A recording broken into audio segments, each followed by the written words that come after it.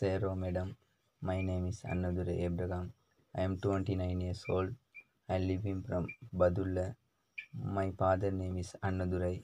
My mother name is Parvati. I am married. My wife name is Susantini. She is a housewife.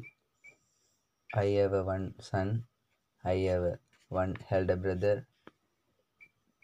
I study at Haliyala Tamil Mahavidyalayam. I complete all all exam only. I have a good experience. Before I worked it, I owned a company contractor for six years.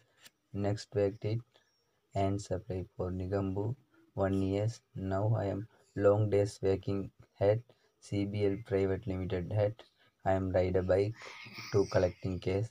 This is my work experience. I am a good football player. You will give any work for me. I I can give full effort for this job. Is I thank God give this time. Thank you so much.